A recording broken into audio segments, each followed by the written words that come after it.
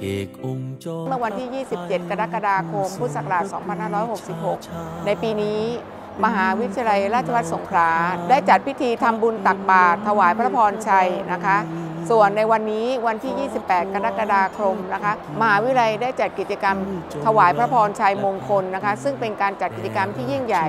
ทั้งคณาจารย์ บุคลากร และนักศึกษาได้ร่วมกันจัด พิธีถวายพระพรชัยมงคลแด่พระบาทสมเด็จพระเจ้าอยู่หัวรัชกาลที่ 10 ซึ่งเป็นมิ่งขวัญของปวงชนชาวไทย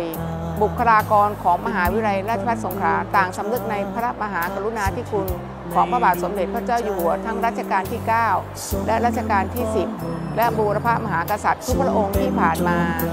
ที่ยิ่งใหญ่ เป็นบุญของเราพ้องชาวไทย ทั้งแผ่นดิน คือในหลวง ผู้ทรงปิดทองหลังพระ คือในหลวงผู้ทรงครองแผ่นดินโด